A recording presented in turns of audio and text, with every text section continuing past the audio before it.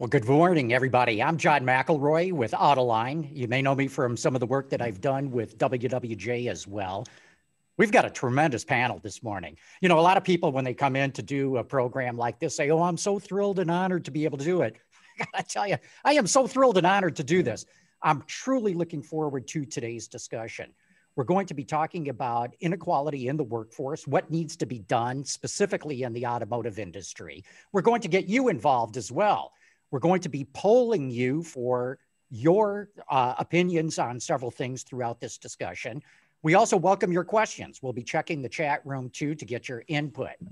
Now to the program. We've got one whale of a panelist uh, lineup here today, including Carla Bailo, the CEO of the Center for Automotive Research in Ann Arbor. Terry Barclay is the CEO of Inforum, Cheryl Thompson is the founder for the Center for Automotive Diversity, Inclusion, and Advancement, and Ashwini Balasubramanian is the Director of Market Intelligence, Strategy, Sustainability for Martinrea International. Carla, why don't I start off with you? Uh, we know that the auto industry has been struggling to improve workplace equality and inclusion and advancement. And I might have thought that the COVID pandemic with more people working from home, maybe that would have been a point of reset. But in fact, you all have looked into this issue and the data is not promising. I'm sure we'll get into all the details in the course of this conversation, but give us some of the highlights. What have you found of what's been going on since this COVID breakout? Well, John, you're exactly right. You know, what we thought enabling more work from home has actually caused the reverse to happen. And the reverse to happen means that, you know, not only in industry, but in many other, in the automotive industry, but in many other segments, um, we're seeing women leaving the workforce for a number of reasons. But let me just start with some data because at CAR, we love data. So, you know, first of all, I want to look at just the last two bullets here. Everyone can read this. We'll, we'll send these out to all the attendees afterwards. But in 2019, so this is right before the pandemic, these are the facts. For every 100 men promoted to manager, only 85 women of all races were promoted. And within that number, only 58 African American and 71 Latinas were promoted. These, these are the facts from McKinsey. And then the earnings disparity is even a, a worse tale of woe. And for every dollar that men earned, women on all of all races averaged just 82 cents. And white women led the way there at 79 cents, but the other races are far short of that. So this this is the facts even before COVID. So the next slide, you know, what are what are some of the things that happened during COVID? Let's look at the second bullet. Between January and December, nearly 2.1 million women left the workforce. And at the end of December, the fourth bullet, all of the jobs lost were women's jobs. And this is this is unbelievable uh, in, in my view. I was shocked to see this data come out. And then even more important, and what we're gonna focus on here today, it's really estimated that one in four women are considering leaving. That's 25% of our workforce, and that's today. Um, as, as we'll talk about later, Terry Barclay and I just recently um, are launching a book about what's happening with women during the COVID crisis. And I can't tell you how many times we heard repeatedly from women in executive positions, high earning women, that they're considering leaving. And it's really this mashup of conditions, but it's this merger of homeschooling, working from home, spouses being home all day, support system lack. Um, it's magnifying the stress that, that you would feel when you're in the workplace, knowing that your children are either being at school or being well uh, taken care of. So it's just been compounded during COVID, and that level of stress is untenable for many people.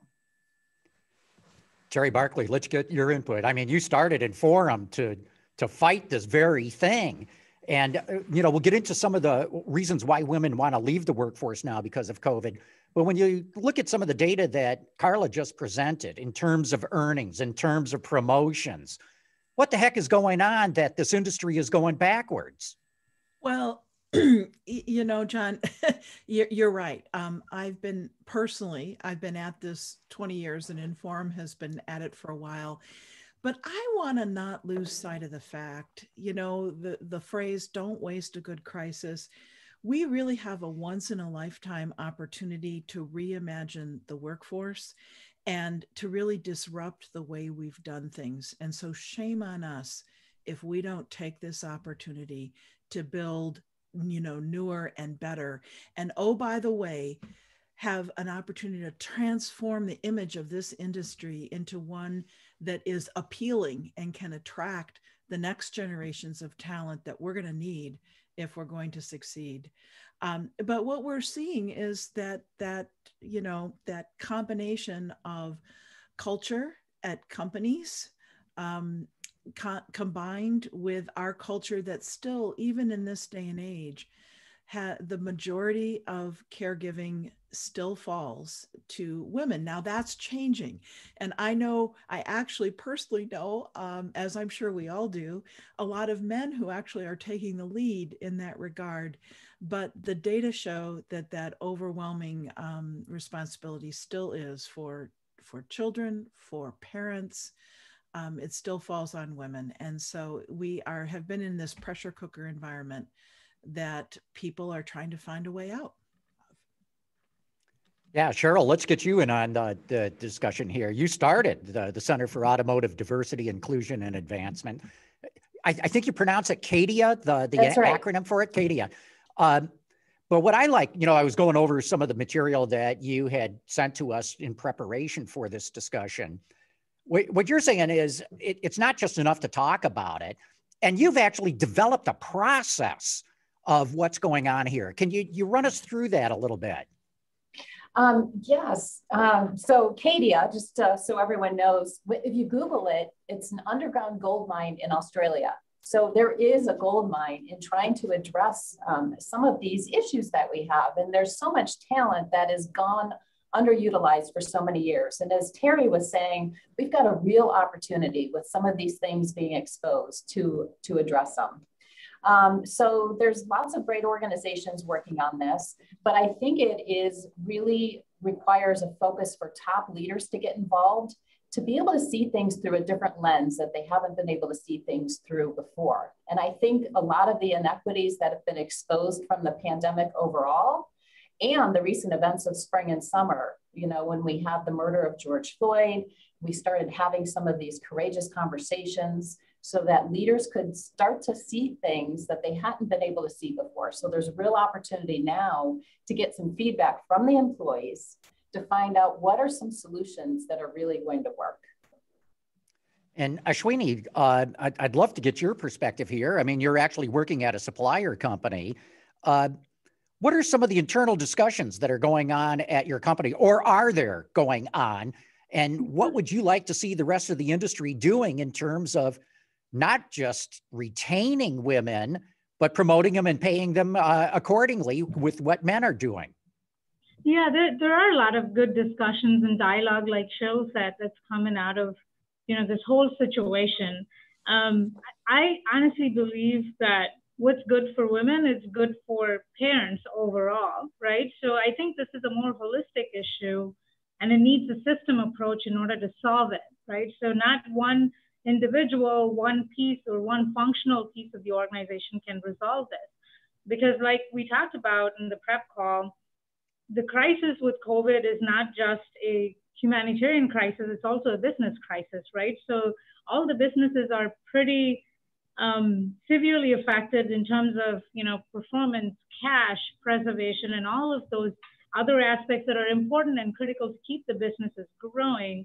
So I always think it's important to assume positive intent. It's not that people are deliberately ignoring the women in the workforce. It's more that you know they're trying to keep their businesses afloat. So I think people that have a seat at the table, it's important for us to bring these issues to the notice of people that are decision makers, so that they can bring this into their lens and their scope and their radar to look at it very holistically, right? So the caregiving issue um, is not just a, a mom issue, it's, it's a dad issue as well. So I think if we think about it as a holistic problem, I think a lot of different factors can come together in order to resolve it.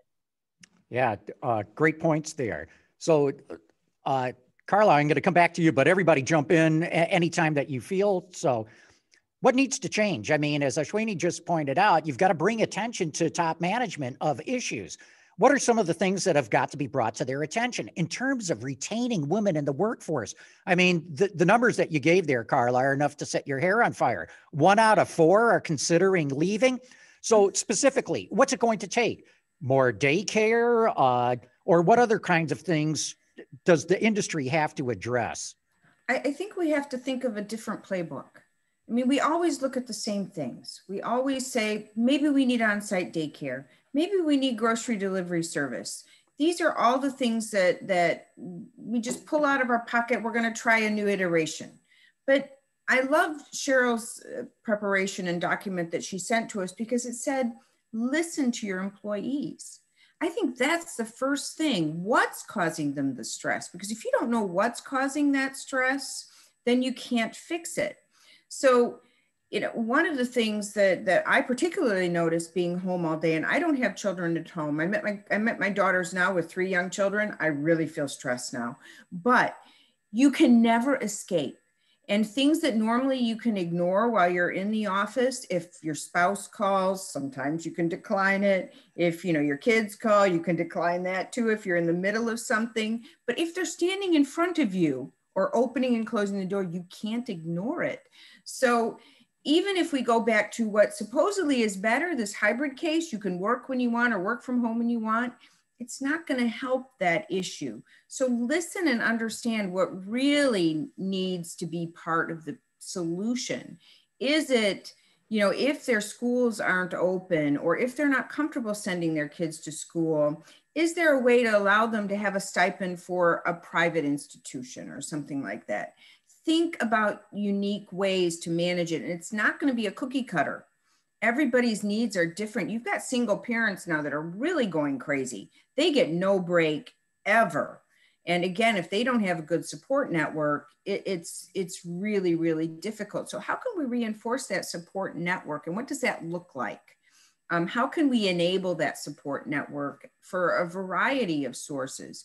you know, some of the companies, and, and Terry can, can explain more about this from her network. Some of the companies, if you have a sick child, which in most companies say you have to stay home, that's it. You can't take them to daycare, you can't send them to school. There are some companies that allow you a number of days a year to have a, a private nurse come and stay. So that you can still work, even if you're home, you can still work and tend to that sick child, but you have somebody qualified to take care.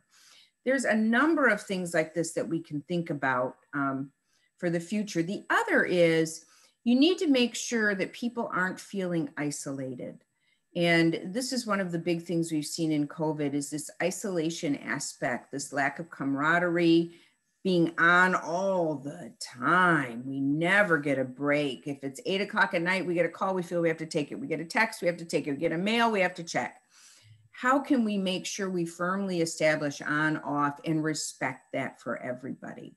So these are just my ideas, but first you got to understand what the problems are you're trying to solve and don't think of the same old menu.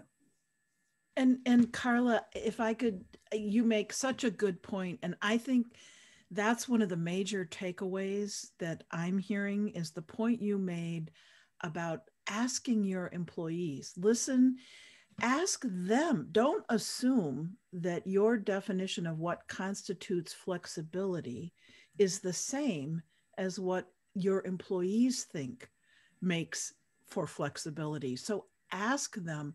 The other the other point that I would make, and it again builds on on CAR's relentless focus on data, right? Um, and you know, John, I, I've just seen this having been at this for a couple decades.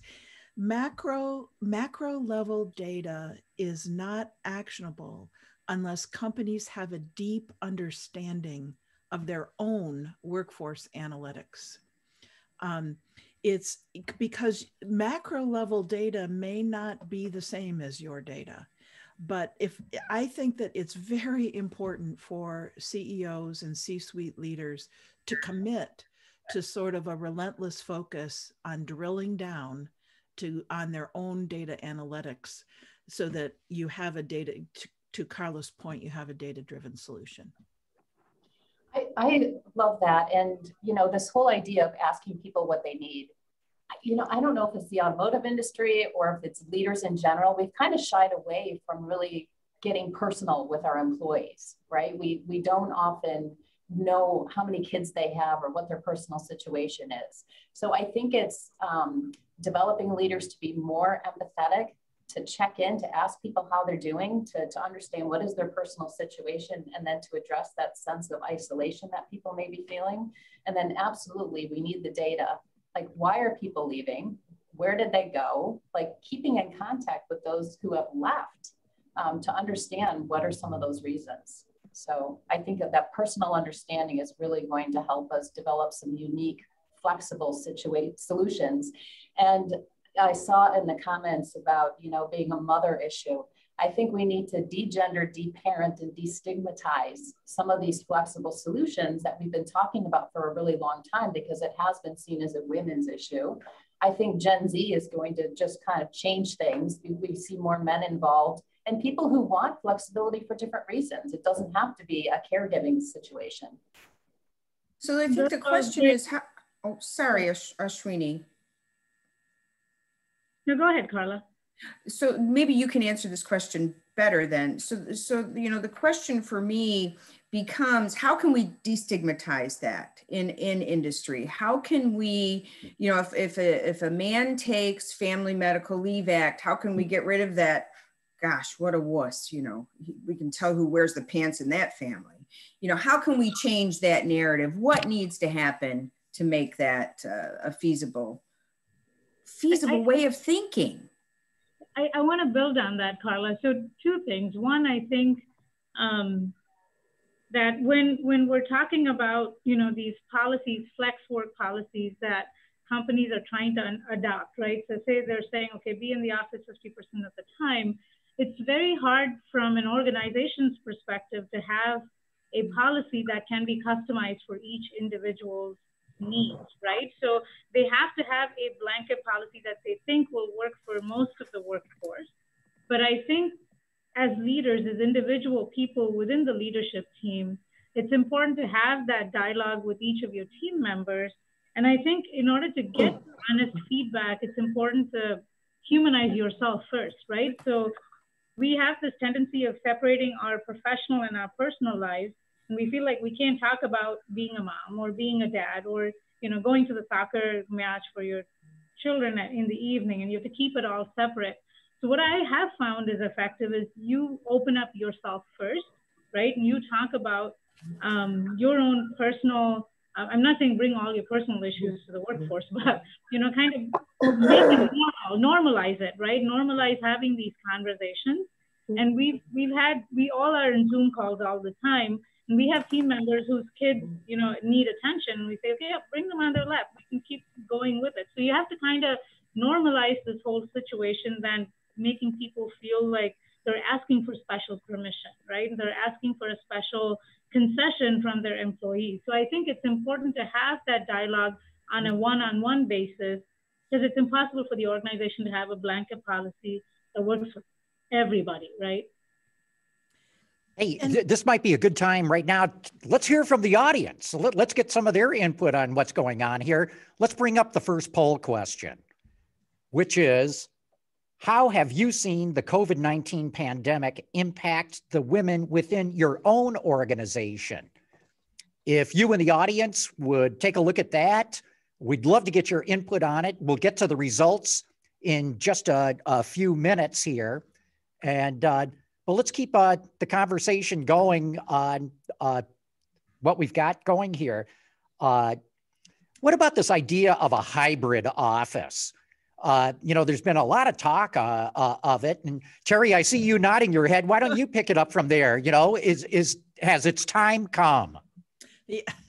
well, I absolutely think its time has come. Um, we're seeing more and more big companies um, going announcing that they're going in that direction on a long-term basis. Um, and there's lots of data to show that it it's it's a positive thing that attracts employees. I think we're only at the beginning of seeing the research about are there differential impacts from work from home uh, policies? Because if your culture does not catch up to your policy, we know that that there's going to be differential impacts from those policies. There will be the in group that goes into the office and benefits from the fa- from FaceTime um, and who's included in all those informal meetings to make decisions. So uh, we know that that's just not that's a human tendency, right? It's a it's a human tendency. So I'm I I'm hoping and now mind you, I don't think any industry has this figured out, and lots of places are trying thing things. But to Carla's earlier point, we do have some interesting examples from other companies about um, how they're trying things to try to equal out, you know, make sure that there's no um, differential impact. For example, in a hybrid office, um, leaders still need to conduct their meetings virtually from their offices so that everyone is participating on equal footing. There's not a group of people in the room and a group of people who aren't in the room. We've heard so many positive things from global companies where finally that big divide between headquarters and the hinterlands has been has been there's been some equalizing because everybody's virtual so we need to be sensitive to to that equalization when uh, equal opportunity when we go to hybrid offices. And I have more examples, but let's let's see what our poll questions were. Here we go. Uh, overwhelmingly, uh, few to none have left, but some women have been experiencing disengagement and stress, which is exactly what we've been talking about. And uh, Ashwini, let's let's continue with this idea of the hybrid office, where you work maybe at home most of the time, in the office part of the time, or vice versa. Is this something that you're considering at uh, Martinrea? Yeah, yeah, we already are in that kind of work mode, right? Um, we do have um, a rotational policy in place, um, but I think what we haven't assessed, just like Terry said, it's all new. It's very much in its infancy I think the industry and the rest of the world hasn't assessed, does this cause any issues in terms of innovation and collaboration um, taking a backseat sometimes? Is it really as effective as having people, you know, sit together, brainstorm together, come up with innovative ideas? So that piece is not very clear yet. There's not a lot of data out there, and I think we'll continue to see that. But in anticipation for that, taking a backseat, maybe we need to start considering how do we make sure when we have these kinds of discussions, we're inclusive, we're making sure everybody gets a chance to voice their opinion, everybody's voice is heard, right? So you have to purposefully, as a leader, make sure that not just the people in the room are interacting, but people that are remote, you have to almost call them out to be able to get them to get their voice in, right? Because if you're an introvert or if you are not in the room, it's hard to guess the temperature of the room or you know the right timing to interject and talk. So it almost falls on the person hosting or the person leading the meeting to kind of call for those people to be included. Otherwise, I think the people that are remote are not going to be able to get their voice heard um, in a fair manner. That's at least my observation. we're getting some really good stuff here. You know, uh, make sure everything's being done virtual. Everyone's on a, a, level playing field and the like. Carla, you pick it up from there. Yeah, I, I just as I'm listening to this, you know, the water cooler conversation is going to happen, and it's all about communication, and I want to call it citizenship. If a team is a team, you don't go out on the field and say, oh, we're missing the second baseman. We can play anyway. Let's go. You don't do that. So at the water cooler or whatever the conversation is, if one of the team members isn't there, somebody needs to stand up and say, you know what, we need to include so and so, whoever is not physically there. And it's going to take us an extra five minutes. I'll text them, we'll get them on a virtual call. But somebody has to step up to the plate I love sports, so I'm going to keep these acronyms going. Um, and and you know, not allow that game to start unless you have all the players at the table. But it's going to require somebody to do that, and it's going to have to be this inner voice. And maybe it's training, maybe it's talking about company culture, maybe it's a communication dogma that you create. But somebody has to be there and be in charge and say, we are not going to talk about this and make this decision unless we consult or bring into the discussion the right team players.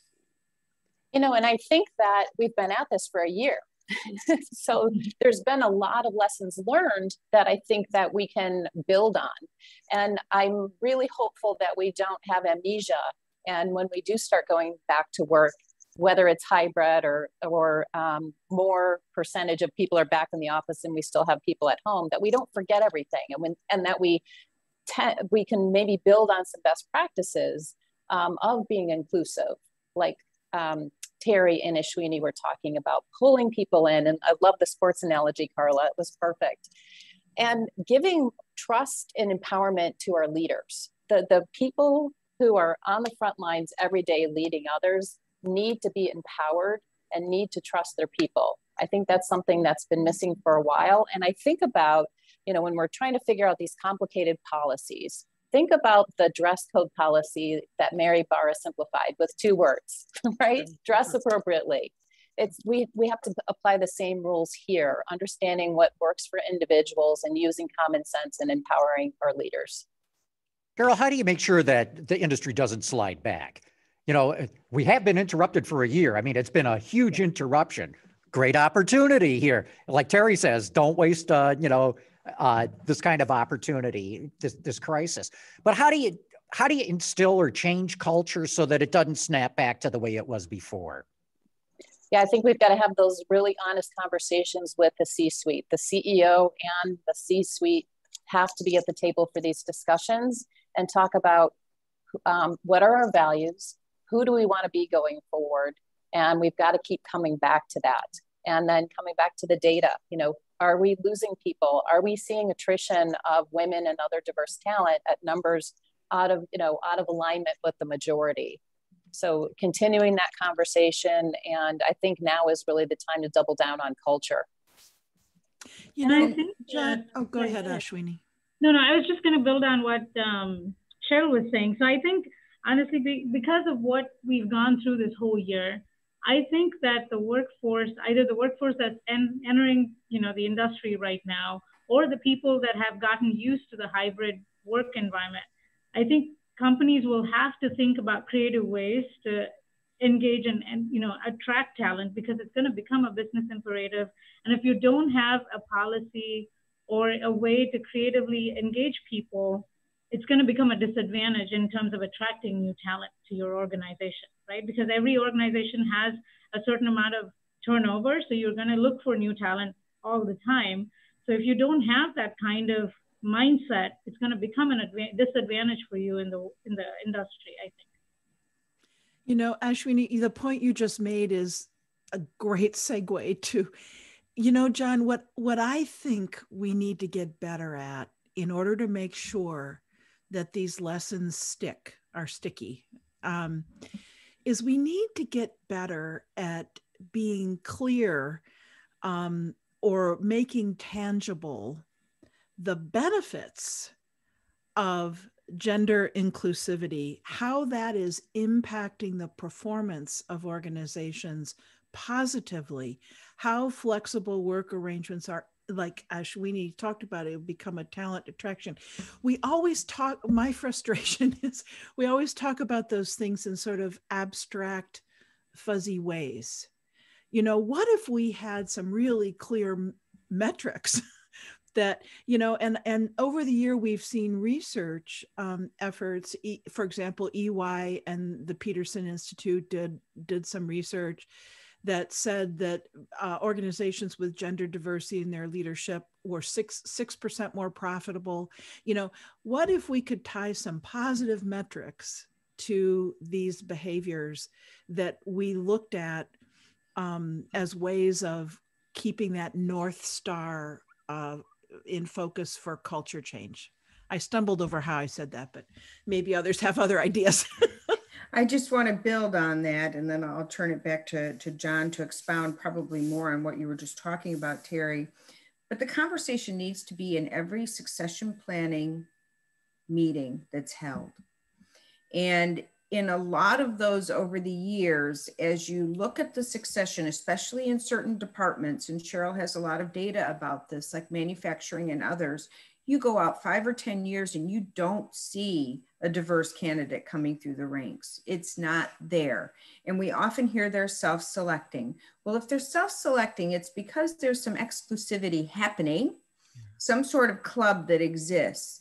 So unless we bring this element into every stage of succession planning, all the way down to each person's personal development plan for the year in their yearly evaluation, we won't see this change happen. And that's regardless, pandemic or not, seeing more um, diverse candidates moving up in the organization. We need to get that into their the working plans, make sure we have the training enabling ways that they can continue to improve and in every succession planning meeting, if you don't have somebody saying, wait a minute, this isn't the metric that we want to be at, you're never going to get where you need to be. So you need to make sure you have that open dialogue and communication. And you need to take a harsh look at yourself if indeed comments are being made that don't fit where your diversity goals um, lie.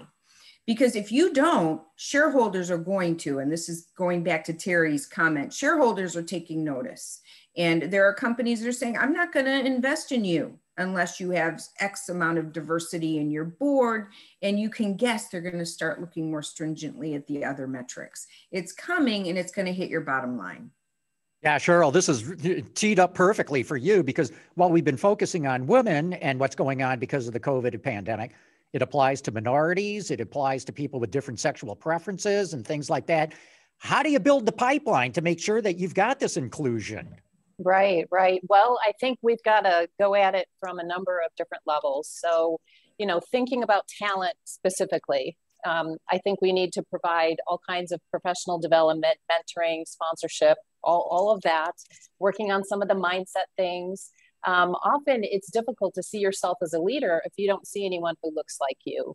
So really helping people overcome that. So that's why it's so important to have diversity at the board level, at the C-suite level, so that we can attract that talent and they can see um, a path forward. Um, second is systems. You know, thinking about how do we retool our talent systems so that we can minimize bias. We, we all have bias, it's never going to go away, but being aware of that bias and learning how to minimize it. And then, what are some of the updates that need to be made in our policies and procedures so that we degender, destigmatize, and deparent um, some of these flexible work policies? And then, leadership commitment that that commitment has to come from the top. The tone is set from the top. And um, I, so I think those are the three things um, I like to look at those as a three-legged stool, and then the seat of that stool is culture, right? Okay, so broad question to everybody, and then we'll get to our next poll question. How do you, it, Cheryl, it's great. If you've got a visionary CEO who says, hey, this is the way we've got to go, great. You can't count on that. How do you put the pressure on? Terry raised a really good point. Let's get metrics out there. Let's show what's uh, what's positive about doing things the right way. Uh, I, I think, Carla, you just mentioned shareholders. We're seeing uh, corporations getting dragged into political fights like right now, like we've never seen them before. But how do you make sure that pressure is there? Who wants to take a first stab at it? Well, I well, can, go, go ahead, Terry. I, I can tell you that the shareholder pressure is without question something that I see leaders sit up and take note of. Um, we've had great progress um, nationally. We still have further to go, but we've seen the effect of shareholder pressure to get more women on on boards, and so that's a start. It it you know quarterly earnings that's a start. and I think it also rolls into um, being able to hire um, young people today care about the ethics of the company. They care about the diversity. They care about the face of the company and the, even the products that that company makes and how sustainable they are. You're going to have, you're going to start to have a hard time hiring if you don't do this. And then the other one that makes everybody cringe is let's put the metrics in everyone's performance, uh, you know, supplemental income plan. It makes everybody's hair stand on end. Oh my gosh, I don't want that metric. But we all know what gets measured gets done. So maybe it's time to reopen that that door, especially when we're seeing the stagnant that we're stagnant figures that we're seeing in our industry. You know, there's an old adage: "Show me how you're going to measure me, I'll show you how I'm going to perform," which ties in right with that. But uh, Ashwini, let's get you in, in on this. What, what... I, I think, in addition to the metrics, one thing that's I think very unique about the auto industry is we have a mix of people that work in corporate locations and we have people that work in plants right manufacturing plants. I think the challenge is even more profound when you're working in a plant environment, and we can't forget that piece of it. Because, like I said before, we have to approach it holistically. Because if we can figure out how to bring flexibility and adaptive culture in the plant, I think the corporate piece will be much more easier to um, move forward with, right? So I think that piece of it will be critical because sometimes I think the, the organizations struggle with, am I treating the plant employees the same as the corporate? Is one getting more advantage than the other, right? So we, we, we have to kind of balance both pieces of it when it comes to the auto industry. And we can't forget the people that are working in the plant environment, I think. Wow, what a great point. You know, you can't work from home if you've got to be on the assembly line. You've got to be there. So uh, maybe we can explore this a little bit more in the conversation, but I think this is a good time to do the second poll. So let's bring that up and get the audience reaction to this. And the question was if it were up to you, what would be the ideal hybrid work environment? In person, mostly in person, 50 50, mostly remote, 100% remote. Uh, go ahead, audience, give us your input, and uh, we'll get to the results of this in just a moment. But let's keep the conversation going. Ashwini, I, I, I love your point. Let's come back to that. How the heck do you make it fair for the people who work in the plants to have this kind of flexibility? Any ideas of how to do that? Well, I think. Go ahead, Ashwini. Yeah. No, no, no.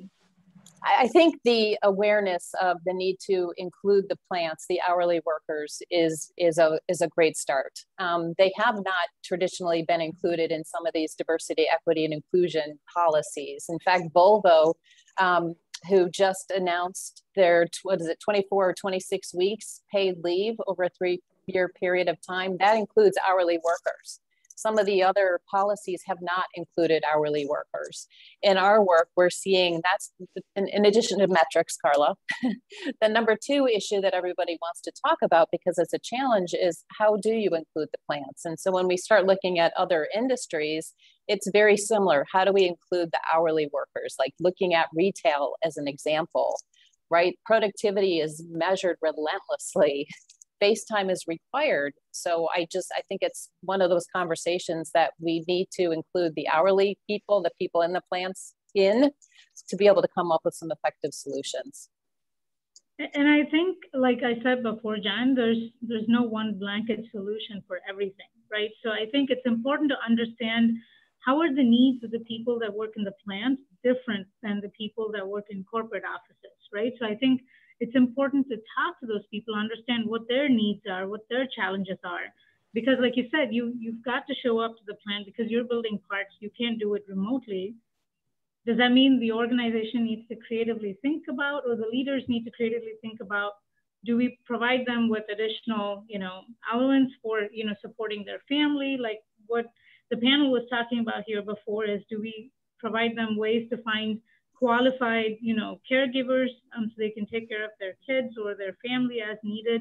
So I think we need to first understand what their needs are, what their challenges are, what are they feeling, right? Without assuming that what we think at the corporate level is the challenge that they're facing as well.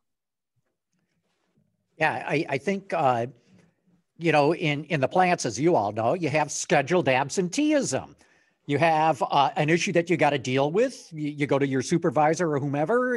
You, you say, "Hey, next Tuesday or whatever," you can plan ahead.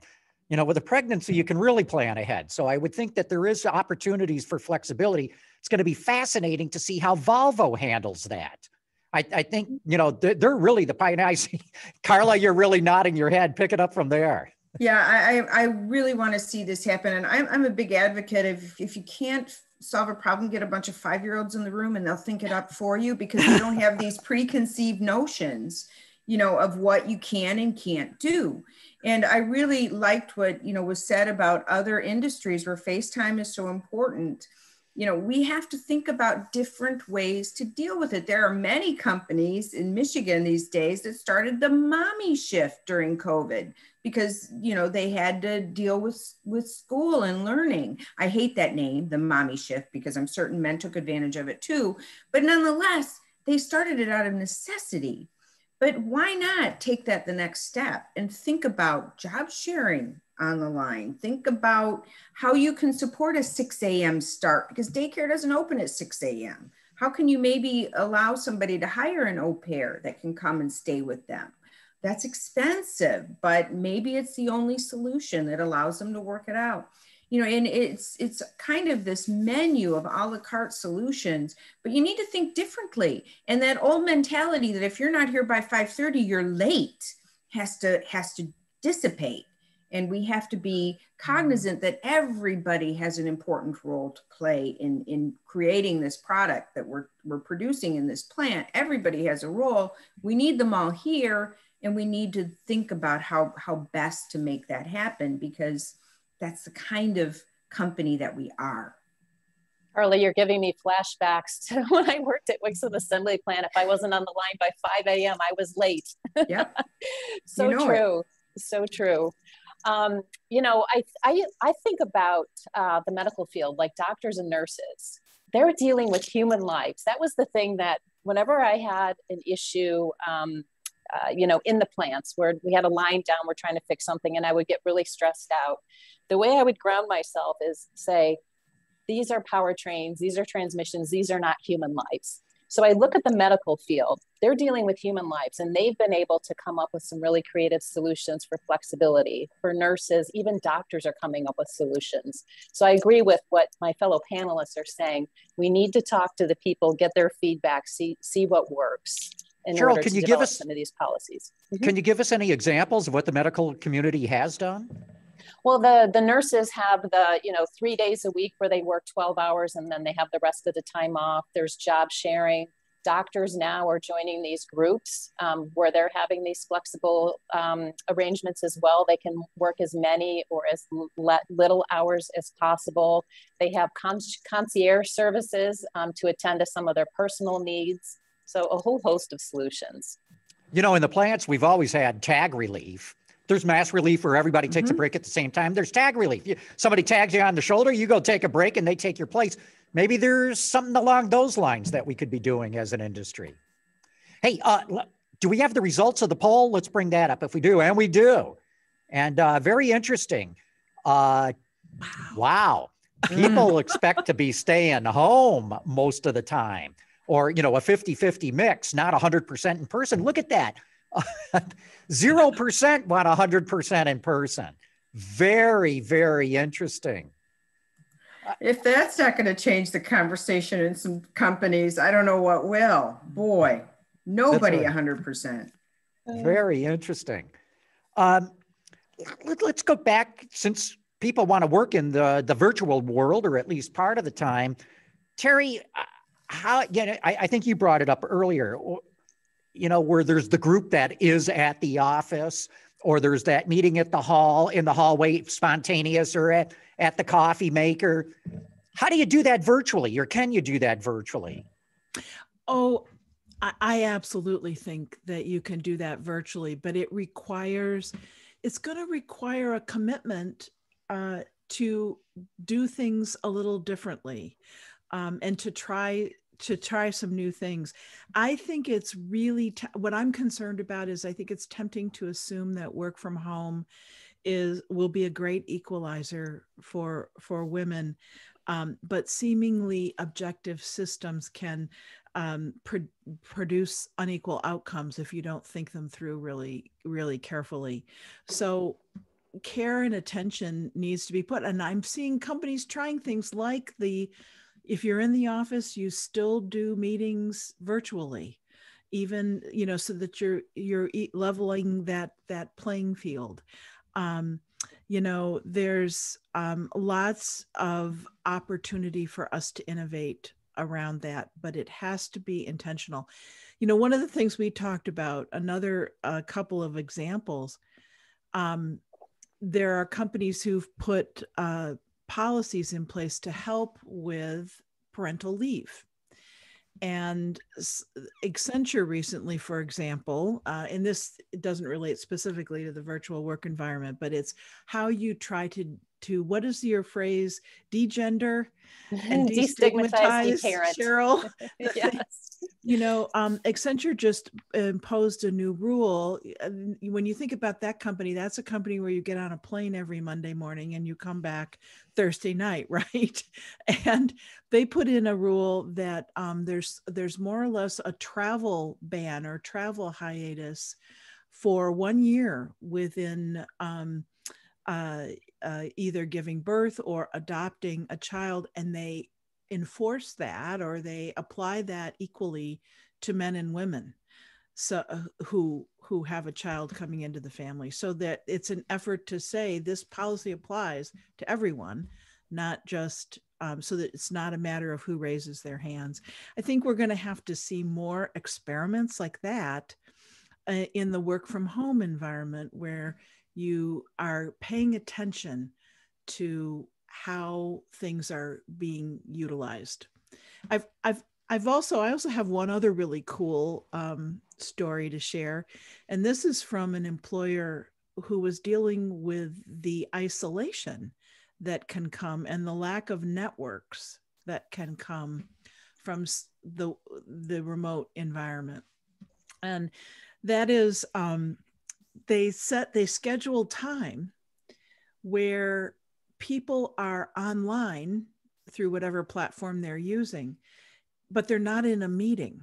They're just working at their desks as if they were working next to each other in cubes or at a table, so that every once in a while you pop up like you would make a comment to your your office mate every once in a while. Gee, you know, comment on that. But it's just it was kind of parallel processing, and it was a deliberate attempt to provide an opportunity for that casual chit chat and casual connection that wasn't a scheduled meeting.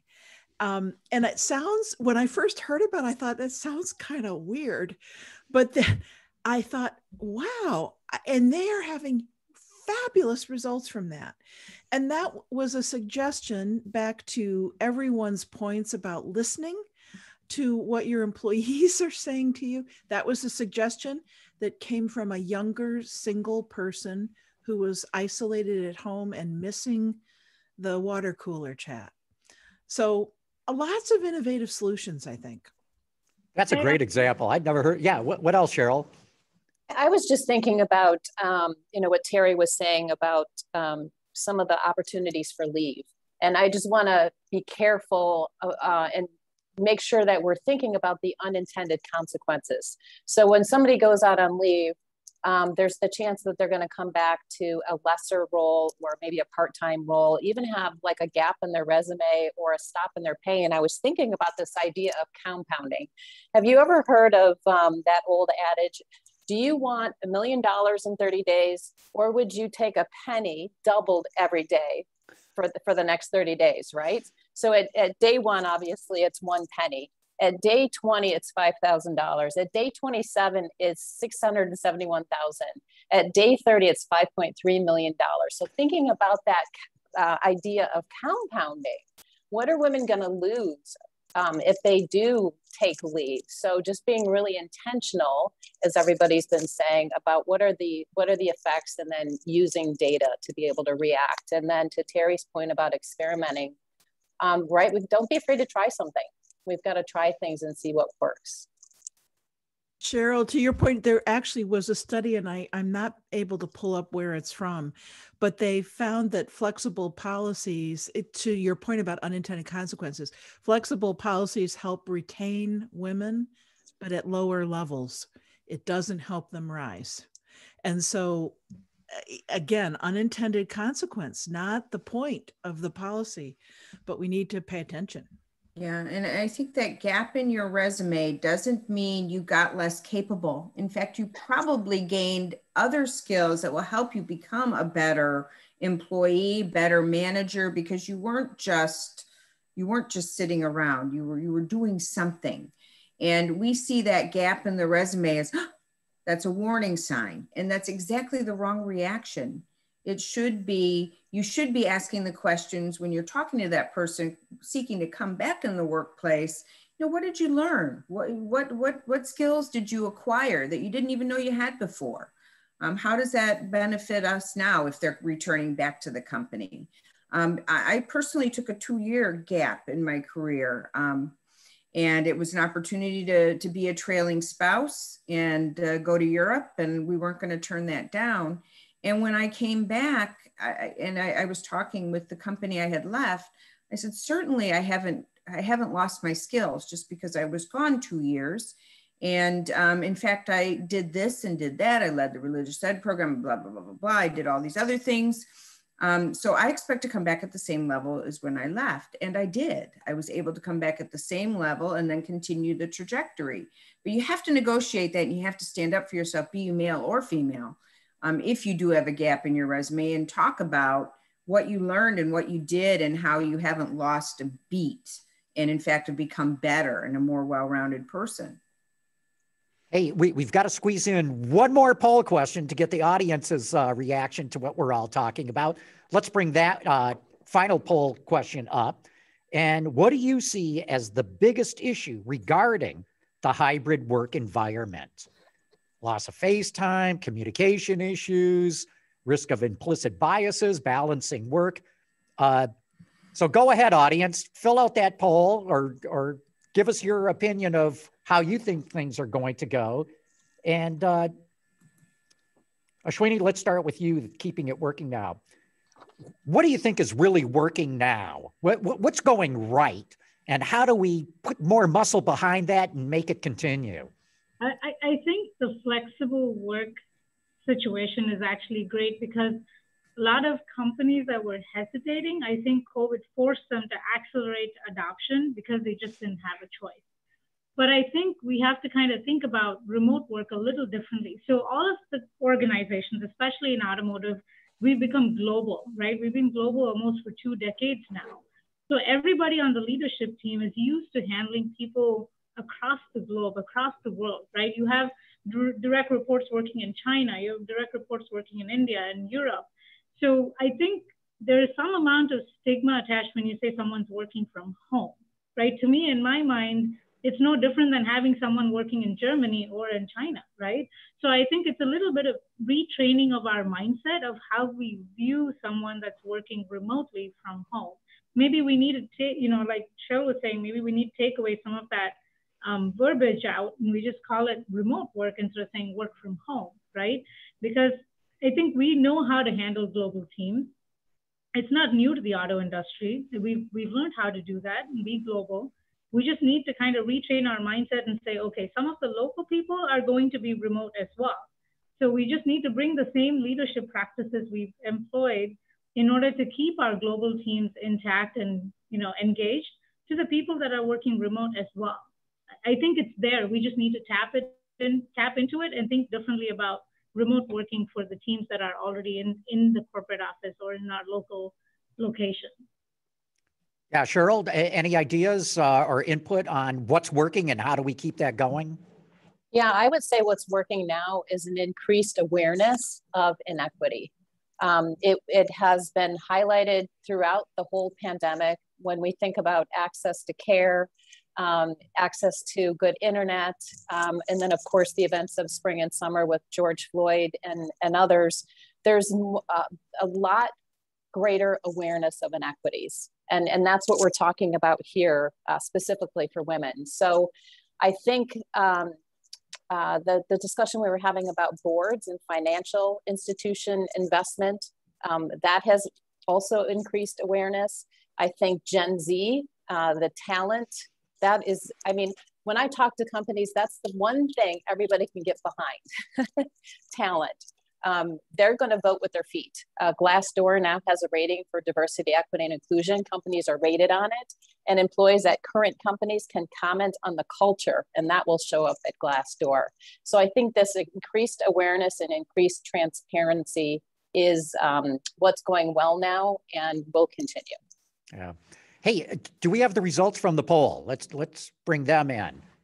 Uh, very interesting. Risk of implicit biases uh, gets you know. So there's there's definitely going to be issues out there, and it, it's very interesting to see the priorities that the audience gives to those.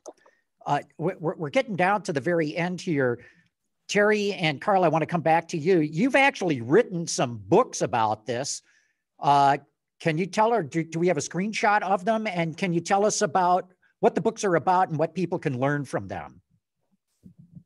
Sure. And before we start sharing the screen, uh, we're about to issue the second book. Um, we've written two books with SAE.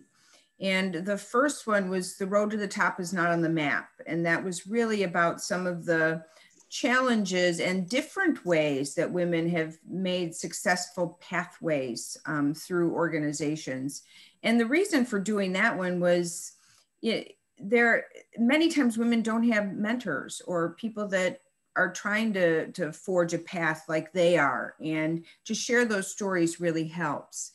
And then during COVID, we had been hearing from a number of sources about the stressful situations, how they managed it, how diversity has, has started to play a role in their companies, and sustainability as well is another big topic that we haven't talked at all about, but it's key to companies' metrics these days. So those are the questions in the second book. Um, and some of them were in the first, some of them were not. And we got very frank and honest um, answers to the questions that we asked. Terry? Yeah, yeah, we we had the chance. Um, John Carla and I had the chance to hear. We have seventy women that are profiled in the book that's coming out this month, and um, I heard some surprising themes. Um, and one of back to your earlier question about what's going well in the remote work environment, one of the themes is innovation is going well. And part of the reason for that is that there is a leveling effect from virtual technology. So it is much easier to include, uh, to, to Ashwini's point, all that all that that store that powerhouse of information and talent from around the globe to easily convene that and bring that to bear on the challenges of the industry. So there's a lot of hope and inspiration um, and some concrete advice and examples from these executives in in the book. So I would encourage you to check it out. well, what impressed me is you, you, wrote this book. It was published by the SAE. It was such a bestseller. They came back and said, "Hey, write another book." So I'm really impressed by that. But look, we're going to have to wrap this up right now. We've uh, used up our hour. I want to thank Ashwini, Cheryl, Terry, Carla. Thank you all for a very interesting conversation. Thank you, John. Thank Thanks, you, John.